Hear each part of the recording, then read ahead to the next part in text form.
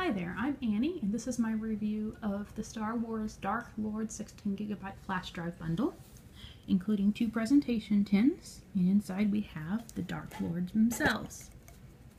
Darth Vader, and Darth Maul. Now, Lord Vader, if we go ahead and we take off his head, I know you've always wanted to decapitate him, so here's your chance.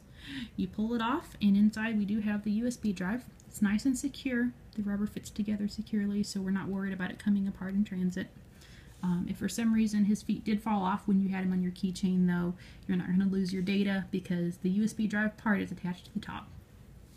Here along the side, you see we have a little bit of seam in manufacturing. If I can get my camera to focus. Here we go.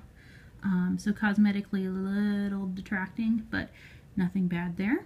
Otherwise, it's really great quality um, rubber, well cast, really awesome to carry around whether you're using it just to look cool or you're actually using it to carry data.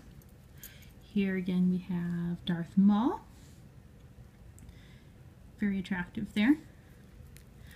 We can decapitate him as well. We have the USB drive in there. Note that you're not going to be able to use this side by side with another USB device if your ports are directly next to each other, um, just because this is a little bit wider than your standard um, slim USB drive.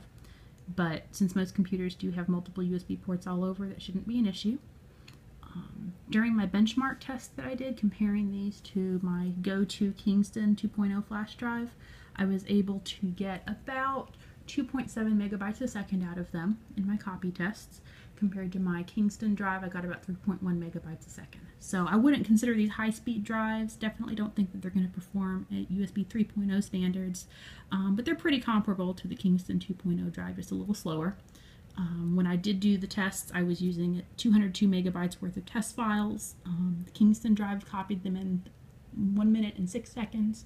These drives were able to copy them on an average of one minute and 13 seconds, and I did run three or four tests for each just to make sure that I had consistent results. All in all, I'm really happy with these drives. They definitely get the geek factor out there. They're cute, they're portable, easy to use, and definitely nobody else I know has any one of these.